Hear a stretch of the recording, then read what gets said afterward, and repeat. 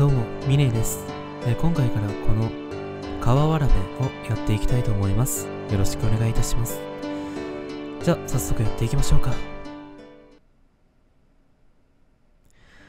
朝方早く、故郷の自宅を出て、かれこれ30分は参道をうろつき回っている。最初は、ただの散歩のつもりだったが、歩き回っているうちに、幼い頃の思い出を次々見つけていった。そういえば、ここでは秋に栗が取れるだとか、ここらで転んで結構大きな怪我をしただとか、一つ一つは他愛のないものなのだけど、それらを辿っていくうちに、どんどんと懐かしさがこみ上げてくる。それらを追いかけ、追いかけていくうちに、俺はこの当てのない散歩にちょっとしたゴールを設定した。なんだろうね。そこまではおそらくあとちょっと。ふぅ、やっとだ。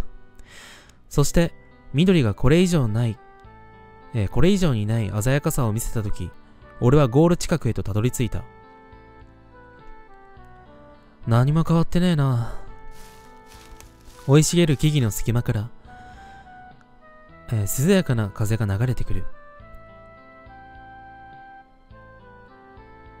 草、臭いきれでいいんかな？を含んだその空気を胸いっぱいに吸い込む。息苦しいほどに、せ、え息苦しいほどの生命の香りに思わずむせ返りそうになる。五年やそこらの月日は自然にはさして意味のないことなのだろう。よっこいしょっと。少し涼もうと上着を脱ぎ、比較的乾いている石の上へと腰を下ろす。久しぶりの運動は多少体に応えるな。しかし、思ったより気持ちがいい。まだ高くない太陽は青葉を優しく照らし、そよ風が汗ばんだ肌を撫で、えー熱を拭い去ってくれる。苔むした地蔵と石段。中央の大きな木。ああ、そうだ。この奥には小さな沢があって、よくそこで泳いだっけ。そういえば、怪我をした時、その川で泳ごうとして、って、ばあさんに話したら、とんでもない勢いで怒られたような。確か、カッパが出るから泳ぐな。とかどうとか。カッパか。当時はバカバカしい話だと無視していたが、今にしてみれば単純に危ないからそんなことを言って引き止めようとしていたのだろう。結構そういう話ってありますよね。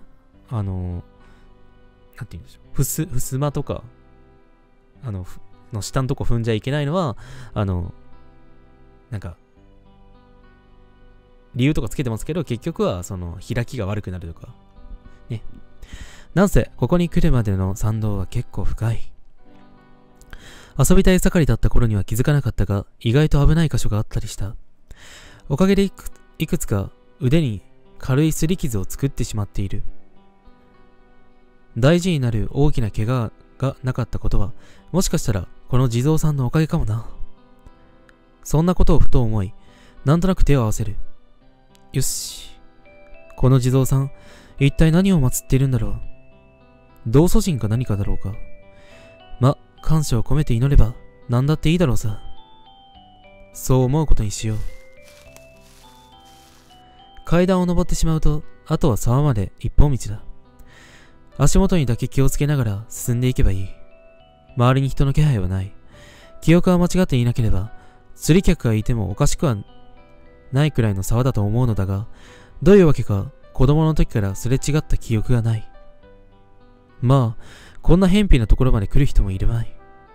しかし、だ。なんか、おかしいよな。なぜだかさっきから何かの視線を感じる。カッパかな？背中のあたりをじっと見られているような気がしてならない。それも結構近くから。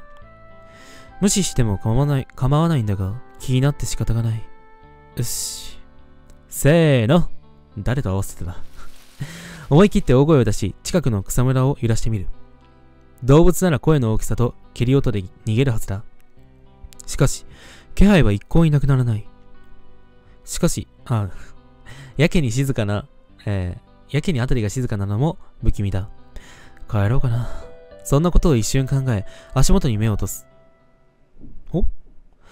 お木漏れ日に映った自身の影に誰かの影が被っていた。あー、そうやんね。俺って言ってるから男やと思うねんけど、これ多分女の子やんね。ん？動けない。お、そうなんすの影踏みみたいな。腰が抜けたのか、縫い止められたかのように、えー、足が動かない。ばあちゃん、もしかしてこれのことを言っていたのか？周囲に誰もいないことは確認している。それに、影の小ささからして、おそらく人、えー、人の子供の手だ。どう考えたって、こんな朝早くに子供はいないはず。落ち着け俺。落ち着け。きっと気のせいだ。ちょっと疲れてて寝不足なんだろう。ちょっと目を閉じてみて、開けたら消えているはずさ。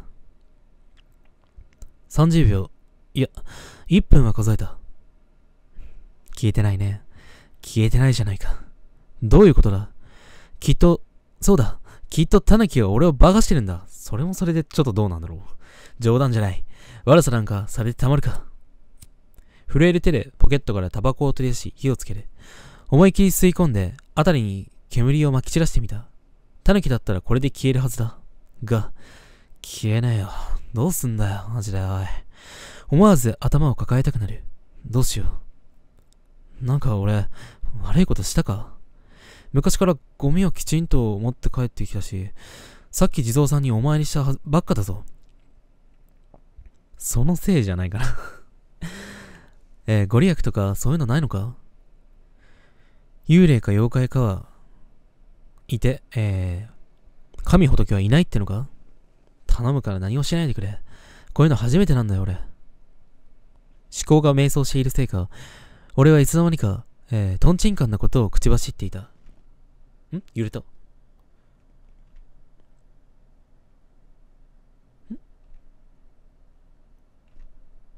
あれ？あ？お動いた。な、なんだ？お？揺れたね。もしかして、何もしないって言いたいのか？期待というより、希望を抱いて、俺は影に向かって問いかける。これ揺れると、マウスでしか反応しなくなるね。何かするのか？おお。どうやら何もしないつもりらしい。そう思った途端、まさしく付き物が取れたかのように体は軽くなった。どうなるかと思った。火のついたタバコを携帯灰皿にねじ込む。一安心はしたが、それでも変なものが後ろにいることに変わりはない。しかし、危害を加える気がないということが分かっただけで、随分と気持ちが軽くなる。無害を装っているのかもしれないが。ふぅ。とりあえず深呼吸をして、なるだけ気持ちを落ち着ける。しかし、正体はわからないが、こういう怪異って実際にいるいるんだな。って。なんだ？心なしか影が右往左往しているように見える。ど、どうした？何もしないって言ったよな。若干背筋に冷たいものを感じつつ、そう問いかける。うん。その気が変わって、取って食おうか迷っている。ってのじゃないよな。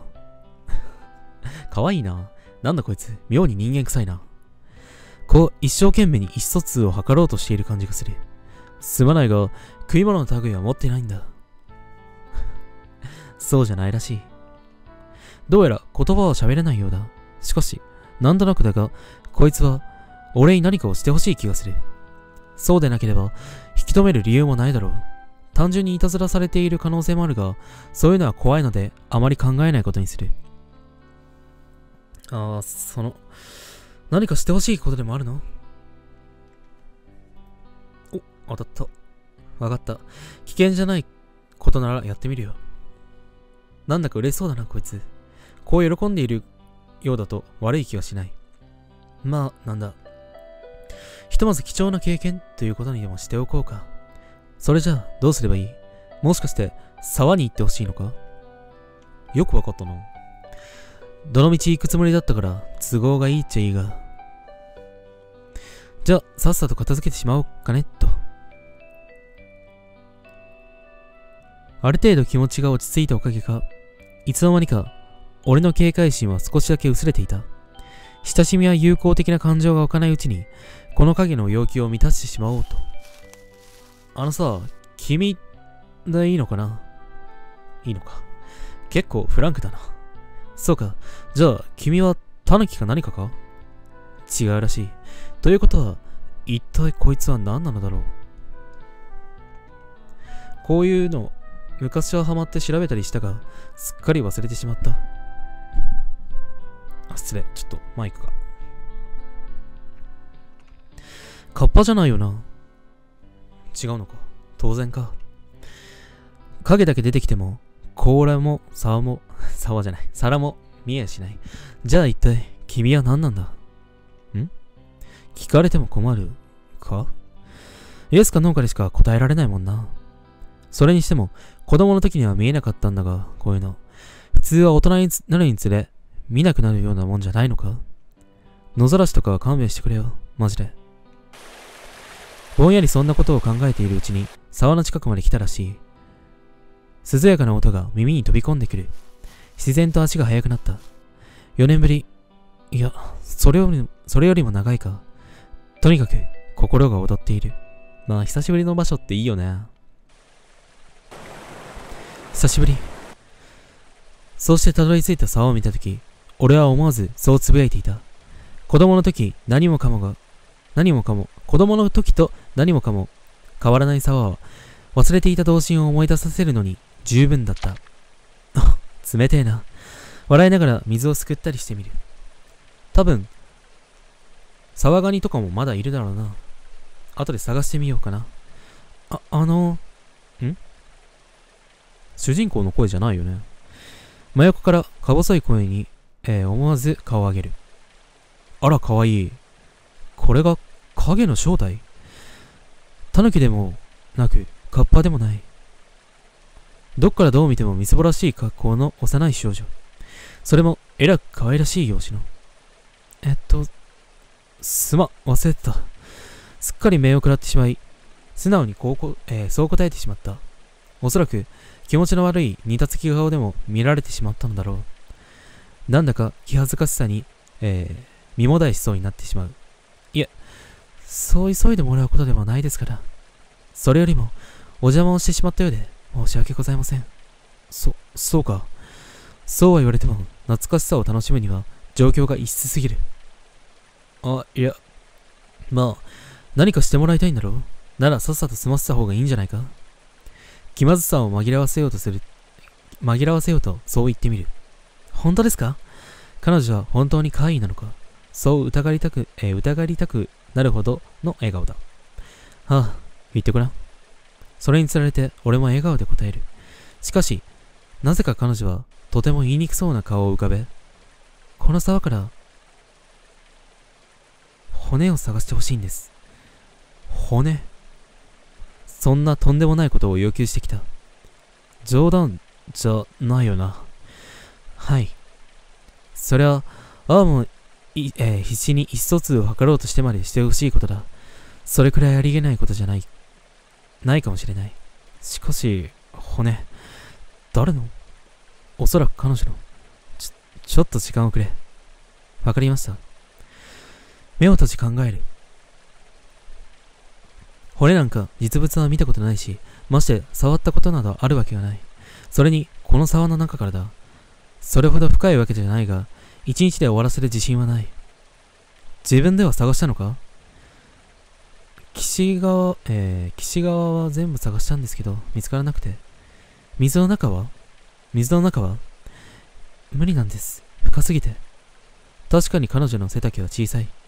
顔からして、年は14、5だろう。が、えー、それにしたって小さい分類だろう。正直な話、断ってしまいたかった。初対面の相手から、骨を探せ。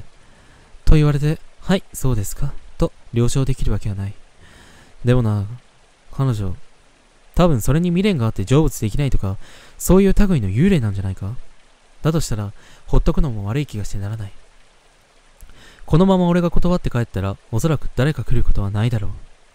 それに、取りつかれでもしたら、いくら可愛くても、かま、えー、かなわん。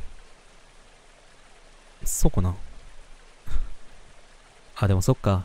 ここ以外だと、あれだもんね。黒い姿だったもんね。わかった。やってみるよ。ありがとうございます。あら、かわいい。深々と頭を下げた幽霊の顔は恐怖を感じる要素は全くなかった。ただただ嬉しそうで、危害を加えるつもりなど、みじんも感じない。俺はなんとなく、罰の悪さを覚えつつ、それを振り払うように素足になって水の中に入った。冷た足を半分ほどつけた瞬間、思わず飛び上がりそうになる。夏だというのに、えらく冷えている。多少歩いて熱を持って、熱を持っていたせいもあるだろう。気をつけてくださいね。結構深いですよ。そんなバカな、う大きな石に足を取られ、体が水中に引きずり込まれる。体を伝う血液は一気に冷却され、思わず体が縮こまる。うひ大丈夫ですか？だ、大丈夫大丈夫。幸い怪我をしていないようだが、めちゃくちゃ恥ずかしい。とりあえずごまかそうに、えー、苦笑いを浮かべつつ手を振ってみる。どうやら安心したようだ。なんというか、想像していた幽霊とは乖離していて、カルチャーショックを覚えるぜ。それにしても、結構深い沢だ。確かに子供には危ないかもしれない。よく溺れなかったもんだな。とりあえず、浅いところから探していくか。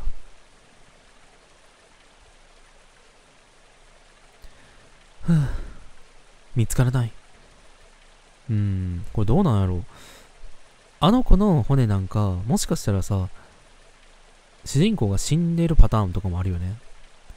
休憩を挟みつつ、かれこれ1時間を探しているが、手がかりすらない。この沢は何人か泳げる程度には広いが、そう規模が大きいわけではない。浅瀬もそこそこあるし、深いところだって大人の俺からすれば胸まで行かない程度だ。それは結構深ない、深い、深いんじゃない？しかし問題なのは、この流れ込みの泡だ。ああ、確かに。そういうので見えにくいんか。こいつのせいで視界が悪い。加えて、運動不足とタバコのせいで息が続かない。それでも、大方探してはみたが、ないのだ。さすがの、さすがに冷たさで手の感覚も麻痺しつつある。すまんな。いえ、やってくれているだけでもありがたいです。どことなくしょぼくれた顔をする幽霊。うん、なんとかしてやりたいもんだが。そういえば、さっき滑らせた足元、な、えー、確かでっかい石があったな。もしかして、あの下に？えっと、確かこの辺りだった。足元を探ってみると、深く押し込んだ場所に、ひときわ大きな、えー、大使の感触があった。多分ここだろう。よし。せーの。目を閉じ、かじかんだ手の神経を集中させ、石の下をゆっくりと探っていく。どうせ泡で見えないなら、感覚が頼り。しかし、砂利と沢ガニが手に触れるだけだ。考えてみれば、骨なんて触ったことがないしな。ぐっさすがに息苦しいな。運動不足なんだ、なって、改めて実感する。今日は諦めて、水中メガネでも持ってこようかな。ん？そう思った時、今までとは何か違うものが指先に引っかかった気がした。これだな、多分。拾い上げてみたそれは、砂利とは違う、白い何かだった。多少削れちゃいるが、同サイズの石より軽い気がする。指か何かの骨だろうか。これです。彼女の手に、えー、それをそっと手渡してやる。透けてしまわないかどうか心配だったが、きちんと手渡しできた。冷たい。こんなになってまで探してくれたのですね。俺の手をそっと握る彼女の手は、確かに人の体温ではなかった。しかし、優しくいたわるように包み込んでくれている。大したことじゃないよ。昔からその、昔からその優しさが変わっていなくて何よりです。ほう。若干強がりに無理があったのか、彼女は少し涙を浮かべ、そう言った。一回会ったことがあるんかあまり泣き声を見ていていいものではないのだが、そうだね。うん。やっぱりね、あのー、笑顔が一番だね。いろんな実況で言ってるよね、私ね。嬉し泣きなら、まあいいか。それにしても、昔からってどういうことだい？え？ええ。小さい頃、この辺りで遊んでいたのはよく見ていました。そうなのか？全然わからなかったぞ。つくづく、霊感のない少年だったんだな、俺。ちょっと言いにくいことだが、おそらく当時の俺が彼女を見たら、声に落ちていてもおかしくはないだろうな。まあこれで多分成仏できるんじゃないか？しかし彼女は歌唱どうやっても別れざるを得ない。多感な時期に霊感がなくて良かったと思わないでもない。寂しい話だが、これくらいの距離感が最良なのだろう。はい。本当に、なんて俺を言ったらいいか。いや、たむけというかまあ、言い方はおかしき、えー、おかしいかもしれないが、そういうことだよ。そう言うと、彼女は小さく微笑んでくれた。最後に一つ、聞いてもいいかい？心の片隅にあった小さな予感を彼女に言うか言うまいか少しだけ迷った。しかし何も知らないでおくには、置くわけにはいかない。おそらくはこれから誰も知ることはないであろう彼女のことを心の中に留めておかなければ。へえ、何なりと。なんと話に察しがついているのだろう。そんな雰囲気を彼女の言葉尻から感じ取る。君はこの様の主なのか？いいえ、違います。捨てられて死んだのです。それだけで十分な答えだった。人が近寄らない理由も、ばあちゃんがカッパが出ると言っていたことも、地蔵があった意味も全部分かってしまった。そしておそらくは彼女の背中にあるおびただしいほどの傷跡も。そんな顔をしないでください。当時は当時のことでしたし、仕方のないことでもあったんです。そんなことをさらりと言ってしまう彼女の顔は、なんだっけ、定、定感なんだっけ？めいた表情をしている。やっぱな、もうちょっと言葉知らないとダメだね。それほど長い年月をこの地で、えー、寂しく過ごしていたのだろう。その間に、恨みも、辛みも、薄れてしまったのだろうか。子供の頃に出てくれば、話し相手くれ、えー、くらいにはなった、なったのに。また怪我をされては困りますから。ちょっとだけ、そのセリフにドキッとした。うぬぼれでなければ、いや、気のせいだろう。それもそうかな。ええ、それに、最後にこんなに話せたものですから。だったらいいんだがな。そろそろか。せめて明るく送り出してやろう。最後にできることといえば、それくらいしかないから。そう思って、何か取り留めのない話でもし、えー、話をしようとしても、時間は残酷なもののようだ。若干だが、彼女の姿が薄れ始めている。ええ、本当にありがとうございます。何もできませんのが心残り、心残りではあるのですが、そんなことを言うなよ。せっかく成仏できるってのに。そうですね。そうだ、これ。残り少ない時間を沈黙に費やさぬよう、俺は上着の、彼女、上着を彼女の背中にかけてやった。背中の傷に触るかもしれないしな。まあ、選別だよ。本当に、お優しい方。この沢の深い水底のように、綺麗に澄んだ瞳が、俺をまっすぐ見据えていた。真顔でそんな風に言われると、どうも照れるじゃないか。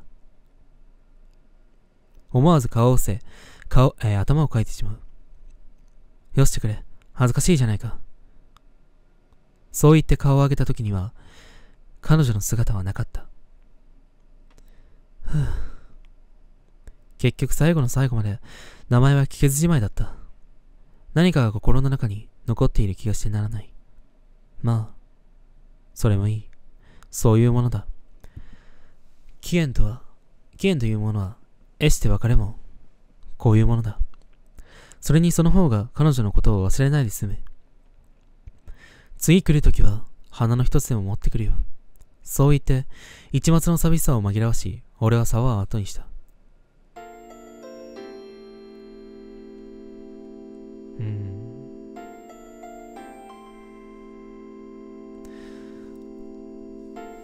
いいな、なんかこういう物悲しい感じというか、その、まあ、最近ちょっとやったゲームとかで結構ボロボロ 実況の最後とか泣いたりしてましたけど、こういうちょっと、ちょっと切ない気持ちになるっていうのもいいですね。いやうん、いいな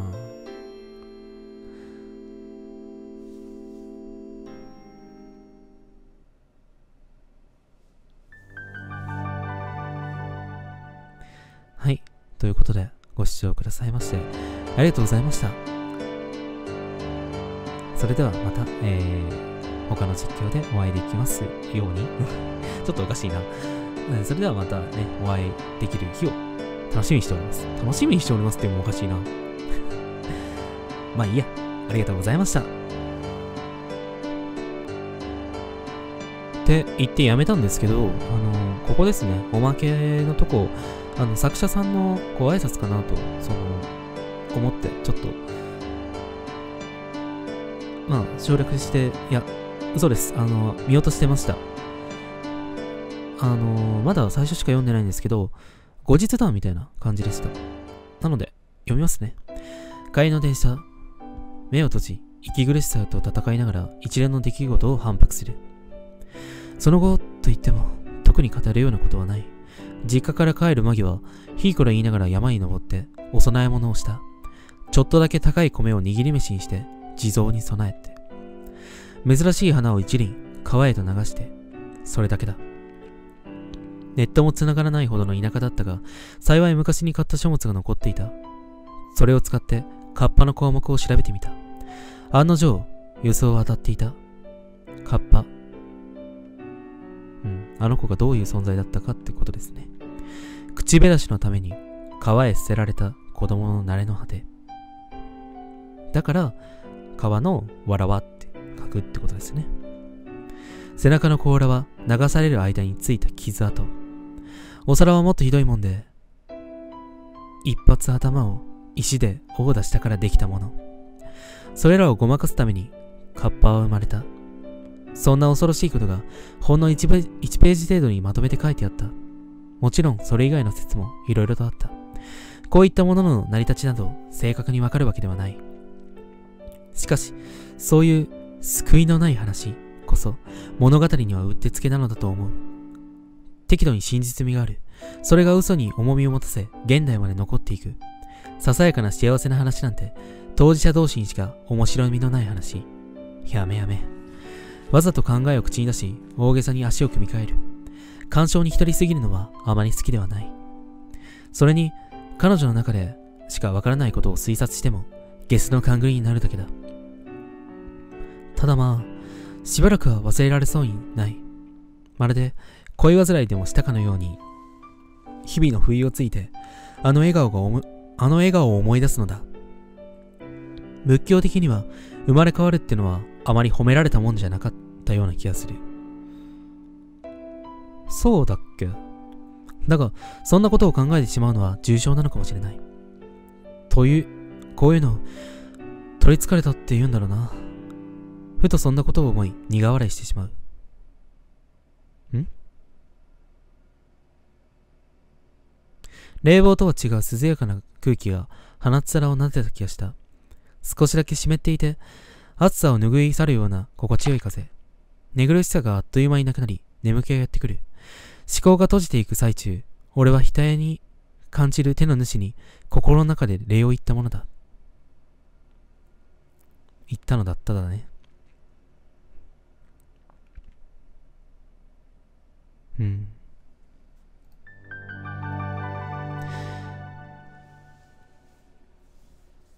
本当すごいね、あの、本当に綺麗にまとまります。まとまりましたねっていうか、まとまってる作品ですね。本当に短い作品ですけど。うん、ということで、今度こそ、えー、本当に終わりということでえー、ありがとうございました。また別の機会でお会いできたら嬉しいです。